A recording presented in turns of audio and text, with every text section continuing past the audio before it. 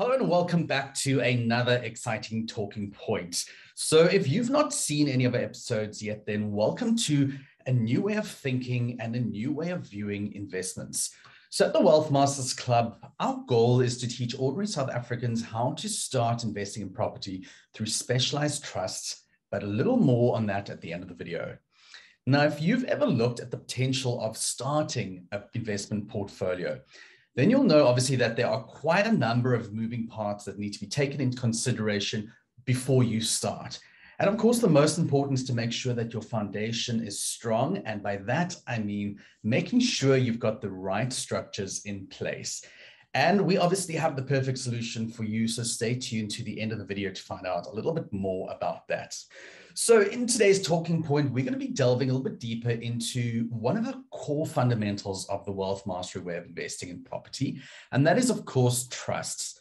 So, if you've seen our video before, then you'll know that we spend quite a bit of time talking about trusts and the correct structures, and more specifically, the legal requirements of that trust.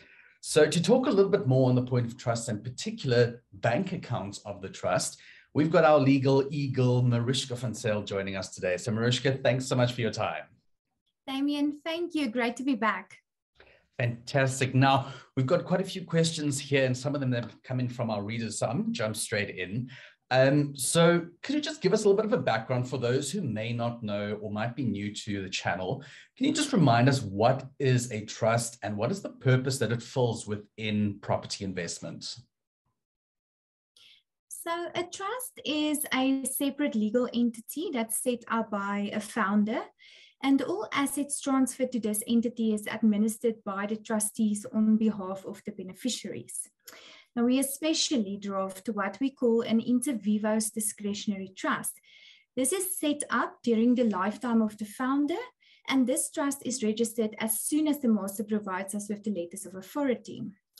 Now, probably the most important purpose to own property in a trust is that the value of your personal estate decreases, and this will have the effect of a lesser estate duty amount that's payable.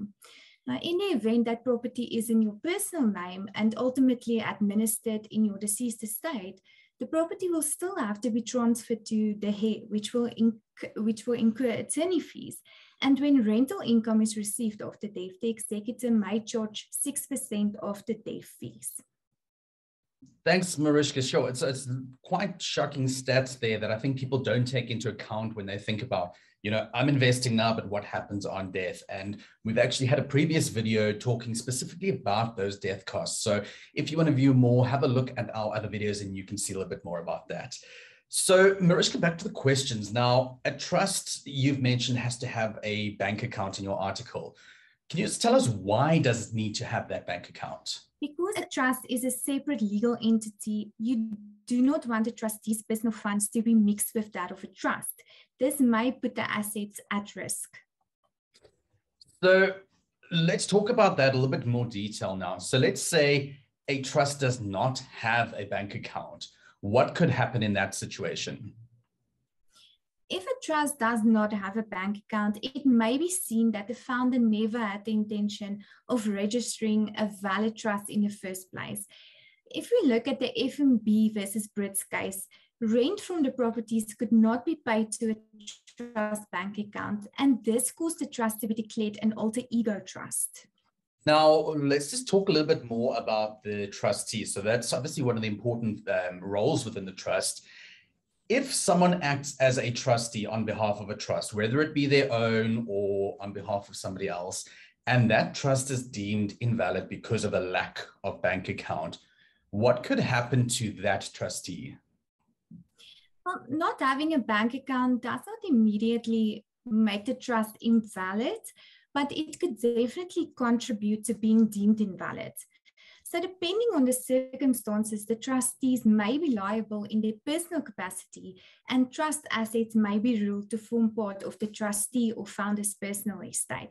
And that is what you wanted to avoid in the first place by registering a trust. And Marishka, let's say we've got a trust and that trust now has a bank account. How much money needs to be flowing in and out of that account each month to keep it valid?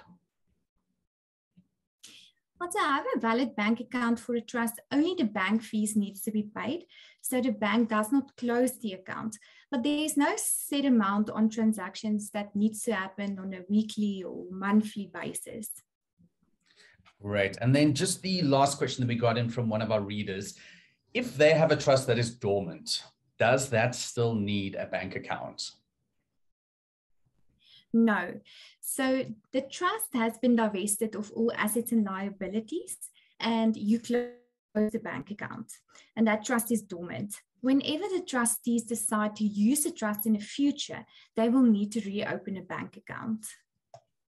Marishka, thank you so much for bringing some important information to light. And again, it just goes to show the importance of having the right team working with you and for you when you create your investment success.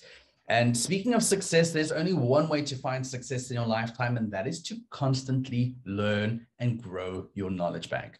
So, for this reason, we've created a free online training platform where you can join our founder, Coert Coetzee, as he teaches you how to create your own financial freedom through investing in the right properties with the correct structure.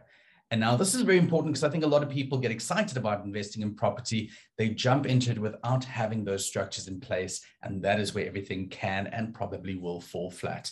So to register our free online training, please click on the link in the description below. And you can view our training in either English or Afrikaans at absolutely no cost.